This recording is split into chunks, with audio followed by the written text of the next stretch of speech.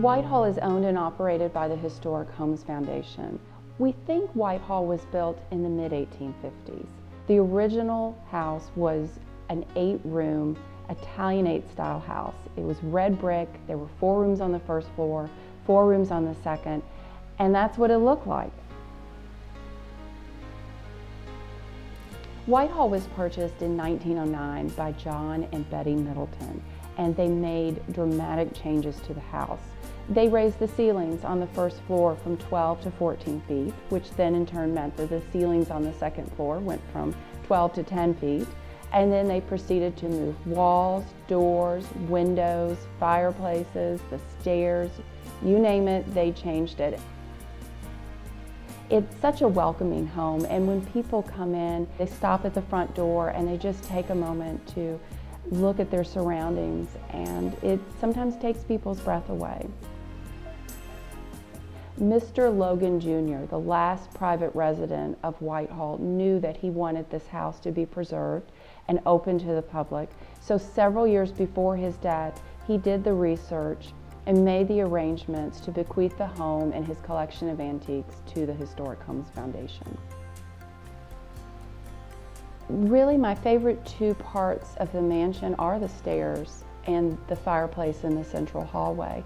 When we have weddings inside the mansion, that's where they take place, right there. And I think of the hundreds of people that have married right there. It's a very happy feeling.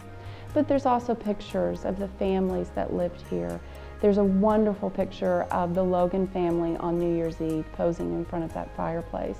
And I think of that often, particularly at the holiday season when the house is decorated. Whitehall hosts multiple events throughout the year, and the one that's coming up next is our Victorian Christmas tea. We can accommodate up to 130 guests, and it's open to everyone.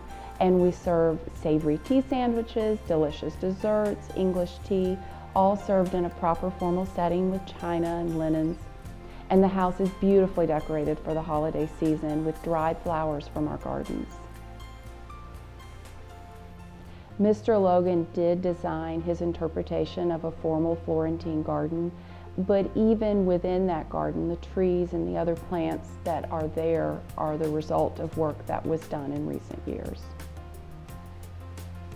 My job is to coordinate the landscape at Whitehall House and Gardens. Um, when I came here 20 years ago, it was overrun with invasive plants, and I thought we would, not in my lifetime, ever get rid of them. So we have done that and gone beyond. I'm kind of surprised how, how much we've accomplished in 20 years.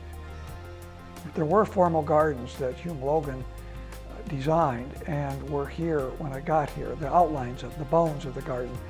We've taken those and actually filled in a lot of the spaces and made uh, more beautiful gardens. Uh, we developed a, a, a, perennial garden in the far back where there used to be a vegetable garden, but it had been horribly overgrown. It was impassable. We created a, a woodland garden. That largely was a result of a volunteer named Ralph Archer who came here and began planting ferns of all sorts until eventually we had 150 varieties of ferns. And uh, to begin with, we had a lot of trees that were down in that area that were hidden with the formation of the fern garden, the woodland garden. We created what we call a stumpery. We actually used those stumps as backdrops. So that is a new, a new garden since uh, we, we began here 20 years ago. I'm addicted to Whitehall. I come here every day. I live about five or 10 minutes away. Uh, I love coming here. I love coming, seeing the seasons change. I love seeing the gardens develop. I love seeing some of these trees that I planted 20 years uh, ago starting to show what they can do. Really, I'm planting for 100 years. Uh, trees can live for hundreds of years. And in a state like this, should have trees that are two, 300 years old that are still healthy. It's open most of the time, so people can come and wander any of the gardens um, as long as we don't have a private event scheduled.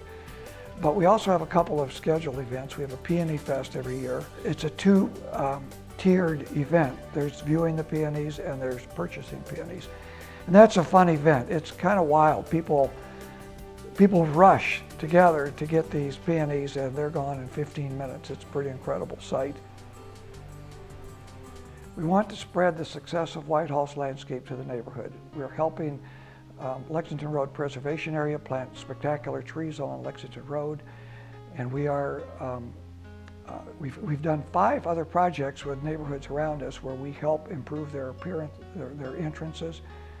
Um, and we're doing this as a public service, but also because we want Whitehall and this neighborhood to be known as a garden district.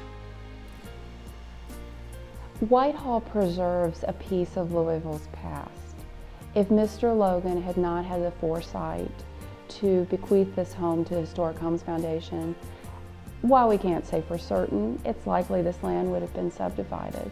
It would have become homes or condominiums or apartments. And instead, this urban oasis has been preserved for our community to take a little peek into what this neighborhood was like many, many years ago.